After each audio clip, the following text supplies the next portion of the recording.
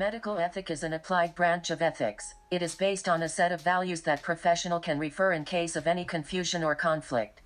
Normally medical ethics involves examining a specific problem, usually a clinical case. The four basic medical ethical principles are autonomy, beneficence, non-maleficence, and justice. Autonomy means patients have the right to determine their own health care. Beneficence means doing good for the patient. Non-malfeasance is making sure you are not harming the patient.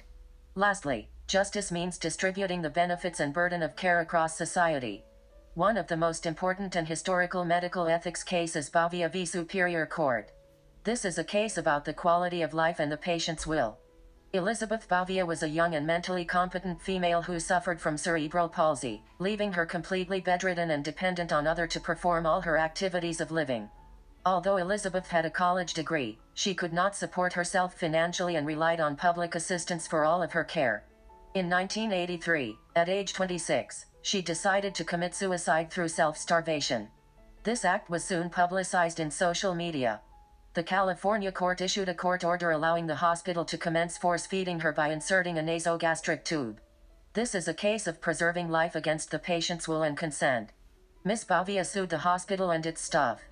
Her side argued that it is the patient's right to have self-determination regarding medical treatment, while the hospital argued it is the state's interest to preserve life, prevent suicide, protecting innocent third party and maintaining the ethical standards of the medical profession.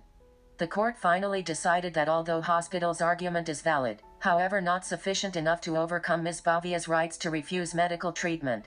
Although she can live 10 to 20 years with feeding tube, however the quality of her life can be very depressing. The two medical ethics principles are involved in this case, autonomy and beneficence.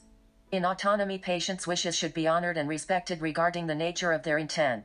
Beneficence binds the physician to provide care that promotes the patient's well-being and prevent or relief of suffering and the preservation of life.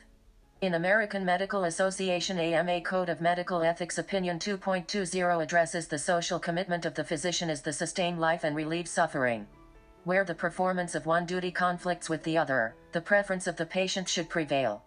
The principle of patient autonomy requires that physicians respect the decision to forego life-sustaining treatment of a patient who possesses decision-making capacity. Therefore whenever there's a conflict between life persevering and patient's willingness, the wishes and desires of the patient will always win.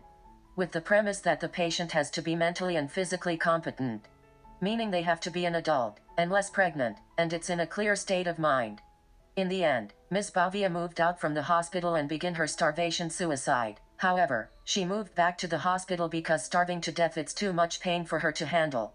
And she is still alive till this day.